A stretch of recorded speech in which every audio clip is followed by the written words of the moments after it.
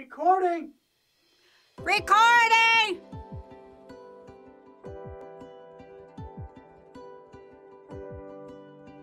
What kind of an impact has 22 had on my life here? Channel 22 is one of my biggest occupations here at MPTF. We were delighted to find Channel 22 as a second home. We feel very much that it is our second home. When I walk in, not just me, but any of the residents, when we uh, see each other at the station, it gets us excited because we know something's brewing. I count here. I definitely count. This is the best thing that happened to me. I'm doing things I've never done before. For the first time in my life, guess what? I'm a producer. Woo, woo, woo, woo, woo, woo.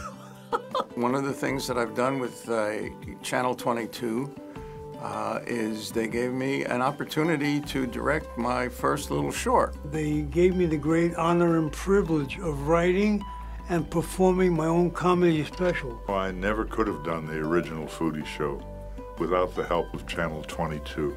The big thing that I came up with was a game show called Champ or Chump.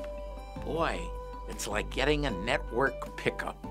I've become a star actress with a leading role in Matt and Maya. I never knew I would star in a movie. My goal was to be an actor and a writer, and I'm doing both. This is a beacon for people who want to participate and express themselves. and continue what they did in the business. You don't leave the business because you're here. The business is still here. I've been here, oh, five or six years, I suppose, and have been busier, quite literally, uh, than even on the days when I was doing a soap opera.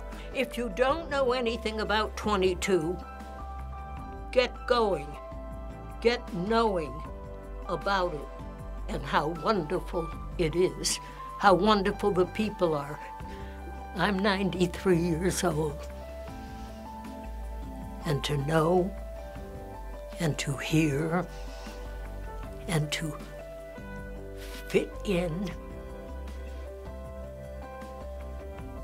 I don't know what you'd call it, but I call it a blessing.